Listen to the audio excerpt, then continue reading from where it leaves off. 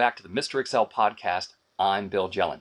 Now, yesterday we talked about customizing a brand new toolbar, and in the past, I've talked about how to add or remove buttons from your toolbars. Just want to caution you that it's possible to really create some havoc with the customized dialog open. Um, one time I was sitting around, I was probably uh, bored, didn't have enough to do at work. I thought it'd be a real joke if I went into my boss's office and let's just say took some of these uh, um, major groupings off the Excel menu.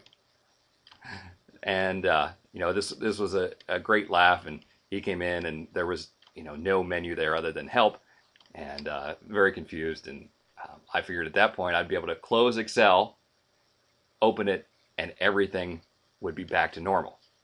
Um, so let's try that. We're gonna we'll uh, use the X to close Excel.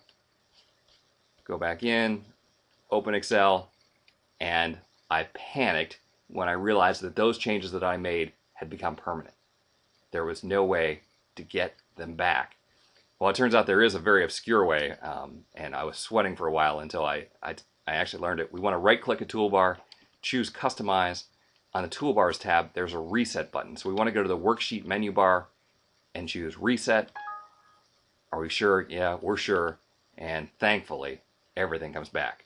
So if you ever made some really bad changes, either intentionally or as a joke, um, know that it's possible to get the original toolbar back.